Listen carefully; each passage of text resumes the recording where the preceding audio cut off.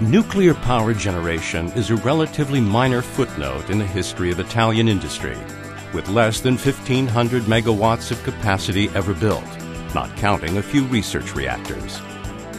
Yet the industry originally got off to a lightning start.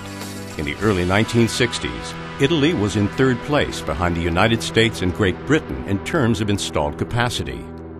Sogin is the offspring of this heritage. The four Italian nuclear power plants at Trino, Caorso, Latina, and Garigliano were transferred to Sogin. In 2003, the company was also put in charge of operating Enea's fuel cycle research reactors and the Bosco Marengo plant, which was acquired in 2005. The most important step in initiating the decommissioning process is the treatment of the fuel nuclear fuel is reprocessed, an operation that enables the recovery of usable materials by separating them from the radioactive waste. This is placed in special containers for totally stable, safe storage. One of our overriding aims is to ensure the safety of workers, the public, and the environment.